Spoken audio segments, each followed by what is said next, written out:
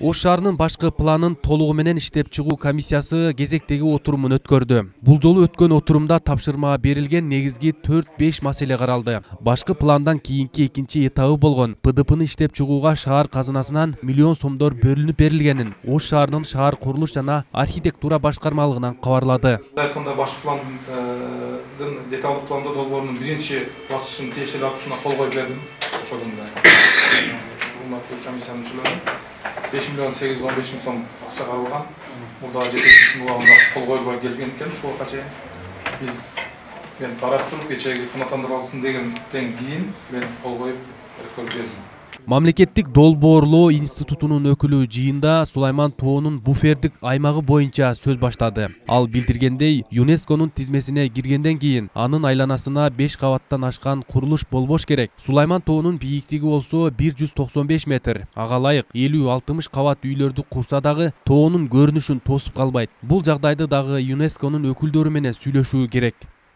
Анан болсо ошо юнесконун кишилери жылда кайсы убакта десем айта келет деп атат ошого чейин конференция өткөрүп алалы өзүбүз даяр боло алабыз деп ал киши ушундай сунуштарды айтты ошолор келгенде жадырата суроолорду берип аныктап мына мынандай деп айтып туруп анан ошол менен бекитип алсак ошол күндөн баштап могу каагандарыбыздын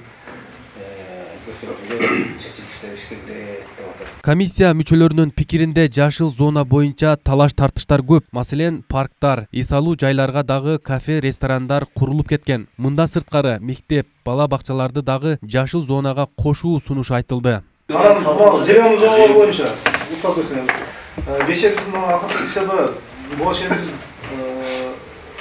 өкмөт курган балдар бакчасы университетке менчикке өтүп кеткен да. Багыты функциональный назначениесі зеленый деген да вот ошондон кармалып бул эми кудай эле сактап турат да. Ошондон кармалып ошо балдар бакчасынын ордуна азыр эч нерсе сала албай турушат да. Эгерде ошонун назначениеси багыты балдар бакчасы же мектеп болгондо башка нерсе салып кете беришет эле азыр эми именно ушул балдар бакчасы мурдагы мектептерди зеленый зона болсо ошол боюнча эле калтырсаңыздар. Аны көркүнүстө укук берилген. Убагы келгенде талкуулап өзгөртүп алат себеби ошол мектептерди детсадтардын турган жерин жеке менчикке өтүп кеткен жерлерди зеленый насаждение болгон болсо ошол боюнча калтырып коюшуна менин сунушумчу ош шаарында бир дарыя жана тогуз кичи каналдар бар. Комиссиянын отурумунда ак буура дарыясынын жээгиндеги курулуштарга уруксат берүү элүү метрден жыйырма метрге чейин кыскартуу сунушу айтылды. Мындан сырткары кичи каналдардын жээгине уруксат берүү беш метрге чейин азайышы мүмкүн. Мэрия эки миң төртүнчү жылы май айында төрт жүз он биринчи сандуу токтом менен карагандагы ак буура канча километр? Мынча километр экен элүү метр болсун.